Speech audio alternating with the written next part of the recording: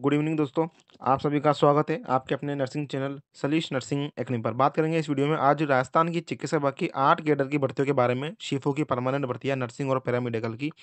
दोस्तों, हरी झंडी यहाँ पर मिली है कि आचार संहिता से पहले यहाँ पर आपको नियुक्ति मिल सकती है, लेकिन कौन कौन सी वैकेंसी कौन कौन सी केडर की भर्ती आई जिनको यहाँ पर नियुक्ति मिलेगी? इसके अलावा एक पॉजिटिव वे की तरफ़ जो है ये बढ़ती जा रही है। सुखद खबर और अच्छी खबरें यहाँ पर निकल के आ रही है। आज जो है बारह फरवरी को राजस्थान चिकित्सा की ओर से एक ऑफिशियल नोटिस भी जारी किया गया है, जिसमें साफ़ साफ़ बताया गया है कि कब तक ये भर्तियाँ पूरी होगी, कैसे होगी क्या क्या कारण रहे हैं, और आज सिया राम जी ने और शंकर जी ने जो मैसेज दिया है, उससे तो बिल्कुल साफ़ साफ़ यही नज़र आ रहा है कि ये भर्ती जो है बिल्कुल पॉजिटिव वे की तरफ़ अपने निरंतर अग्रसर रूप से जो है चल रही है। यानी कुल मिला के बात ये भर्तियाँ तो पूरी होगी हंड्रेड परसेंट पूरी होगी, ठीक है, लेकिन कब तक होगी, क्या कुछ चीज़ें हैं, इसके बारे में ही आज की इस वीडियो में हम यहाँ पर बात करने वाले हैं। सबसे पहले ये लेटर देखिए, जो कि निदेशालय चिकित्सा एवं स्वास्थ्य सेवा राजस्थान जयपुर की तरफ़ से निकाला गया है। इसमें काफ़ी सारी चीज़ें बताई गई है कि आपके कोर्ट केस लगे हुए हैं कौन से कोर्ट कैसे, क्या कारण है, जिसके कारण आपकी भर्तियाँ रुकी हुई है क्या क्या चीज़ें करनी बाकी है, कितनी प्रोसेस बाकी है? और इसमें देखिए यहाँ पर सिया राम जी शंकर जी और अन्य जो नेता है आपके संघर्ष समिति के, नर्सिंग और पैरामेडिकल भर्ती के, उन्होंने भी यहाँ पर जो है इंपॉर्टेंट यहाँ पर आपको मैसेज दिया है, जिसको भी यहाँ पर आपको समझने की ज़रूरत है। वीडियो को अधिक से अधिक शेयर कीजिएगा और सबसे पहले चलते हैं अपन इस लेटर की तरफ़। देखिए, यहाँ पर डॉक्टर राजकुमार रोथ है,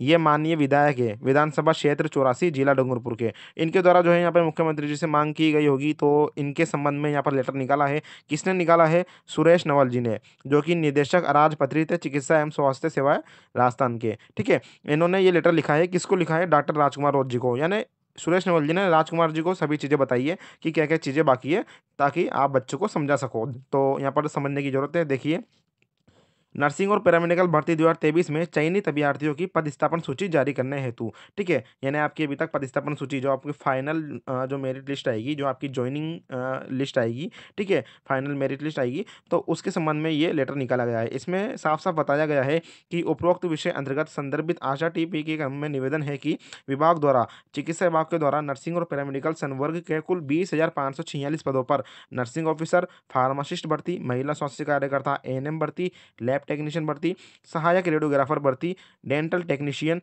ईसीजी टेक्नीशियन और नेत्र सहायक की सीधी भर्ती वर्ष 2023 का कार्य।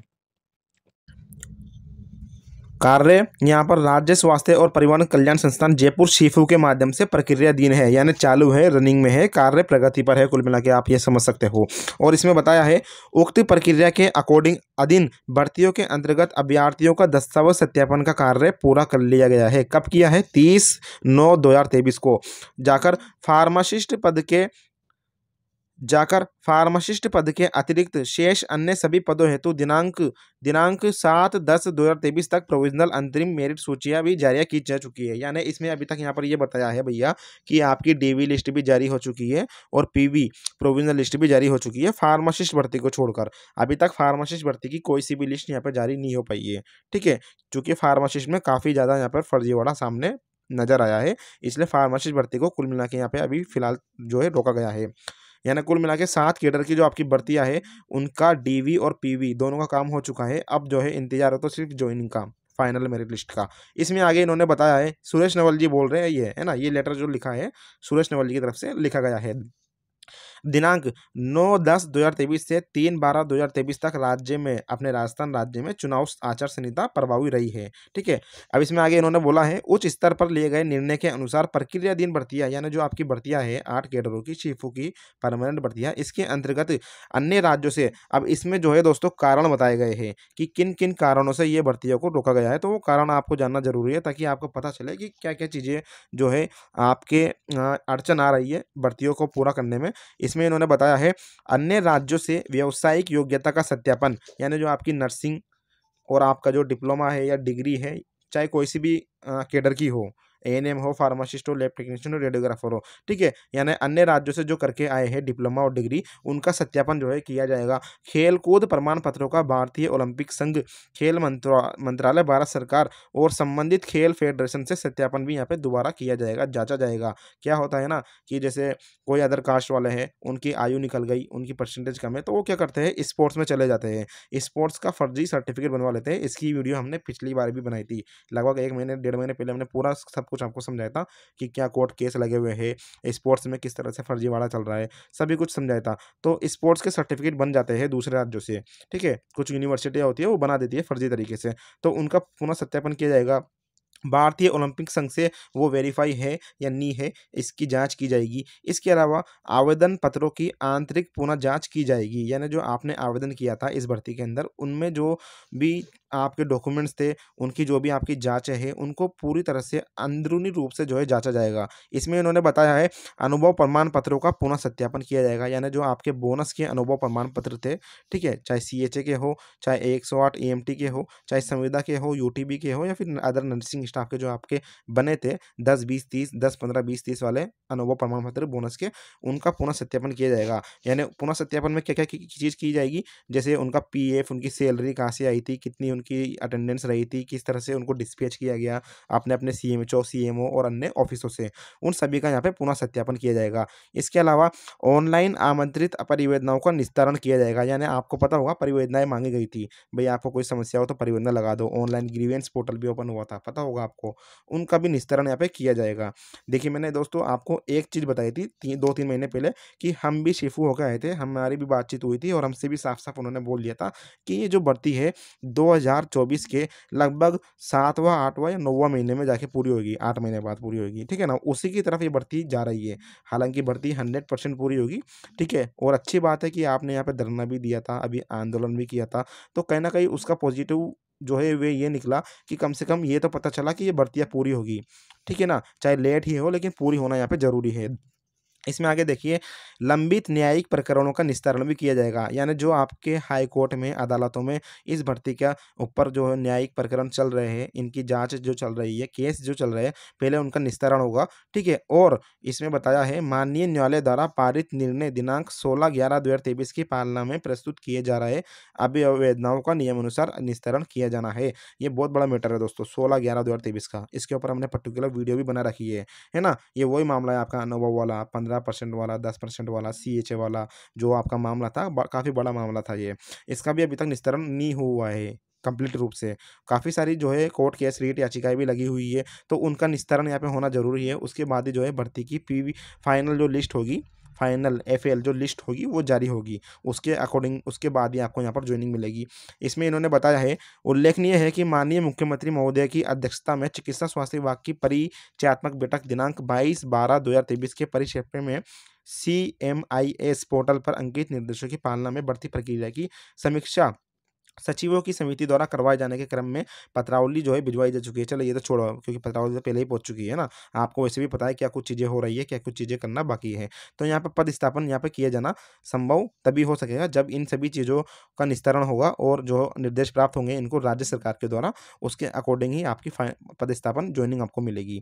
सुरेश नवल जी ने कहा है, ये लेटर आपके सामने है। अब मैं आपको जल्दी से लेके चलता हूँ। यहाँ पर सी राम जी का मैसेज है आप सभी के लिए। सुन लीजिए दोस्तों।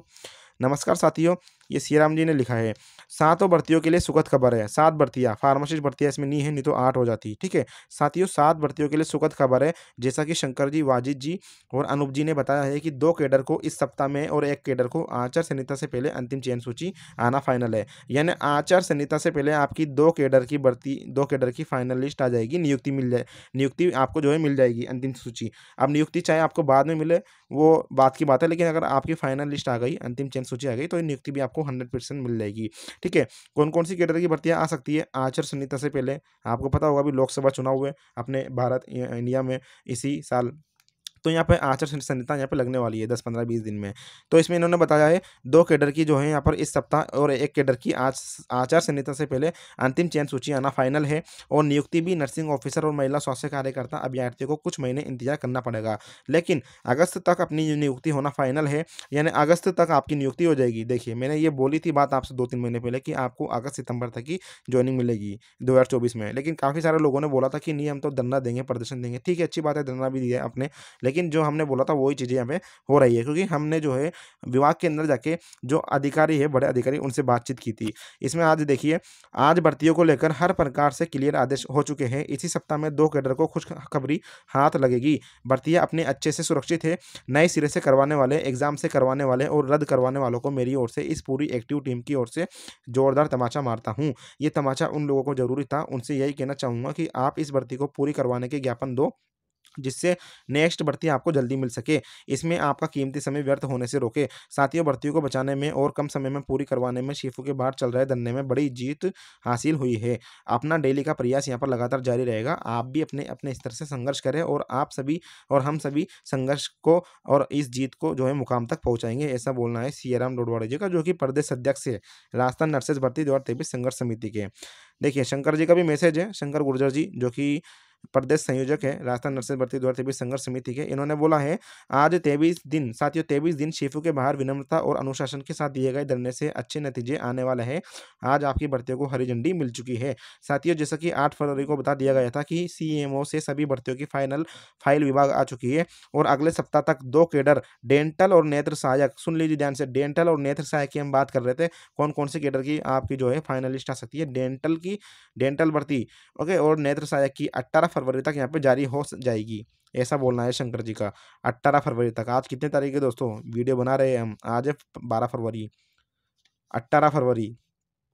छः दिन बाकी है तो दो कैडर की यहाँ पे आपकी जो है भर्तियाँ पूरी हो जाएगी। साथ ही दुर्भाग्यवश व्यक्ति, विशेष फर्जी नेता के इशारे पर मुझसे लिखित में आदेश मांगा गया था और हमारे मज़बूत साथियों को ये बोलकर बदनाम किया गया कि जोड़ बोलना बंद करो, गुमराह करना बंद करो। साथियों जिन साथियों ने तीन वर्ष से दरातल पर संघर्ष किया, उनको पूर्ण रूप से धरने से दरकिनार कर दिया गया। साथियों अगर फर्जी नेता को साथ नहीं लेते तो संभावित हम सबका नियुक्त हम सबका भी नियुक्ति का कार्य जल्द हो जाता। अब वो फर्जी नेता कौन है, जिसको शंकर जी फर्जी नेता बोल रहे वो आप कमेंट बॉक्स में ज़रूर बताइएगा हमें, क्योंकि हमारा नाम लेना यहाँ पर सही नहीं होगा। ठीक है, आप खुद बताइए कौन है वो फर्जी नेता जो शंकर जी बोल रहे हैं, किसी व्यक्ति को फर्जी नेता बोल रहे हैं तो कौन है वो? आप कमेंट ज़रूर करिएगा। इसमें आगे इन्होंने बोला है कि अगर फर्जी नेता को साथ नहीं लेते तो संभावित हम सबकी नियुक्ति का कार्य जल्द हो जाता। साथियों, आज आदरणीय सियाराम जी, अनूप जी, वाजिद जी का साथ यहाँ पर ये मौजूद रहे। मैंने इनको आपका शायद फ़ोटो दिखा दिया होगा। ये देखिए, स्वास्थ्य भवन के बाहर तो ये चीज़ें थी, मैंने आपको सभी कुछ चीज़ें आपको क्लियर तरीके से बता दी, कब तक नियुक्ति मिलेगी, कैसे मिलेगी क्या क्या प्रक्रिया आपकी बाकी है, आज क्या हुआ सियाराम जी शंकर जी ने जो है मैसेज दिया आपके लिए, वो आपको यहाँ पर समझ में आया होगा। धन्यवाद दोस्तों, हमारा टेलीग्राम व्हाट्सअप ग्रुप ज़रूर ज्वाइन करें इंस्टाग्राम पर भी हमें फॉलो करें, वहाँ पर भी हम लगातार छोटे छोटे वीडियोज़ जो है, आपके लिए सपोर्ट में डाल रहे हैं। ठीक है, राजस्थान चिकित्सा पक्ष से जुड़ी हर एक जानकारी के लिए हमें हमारे सभी सोशल प्लेटफॉर्म पर जो है हमसे ज़रूर जुड़िएगा। धन्यवाद दोस्तों।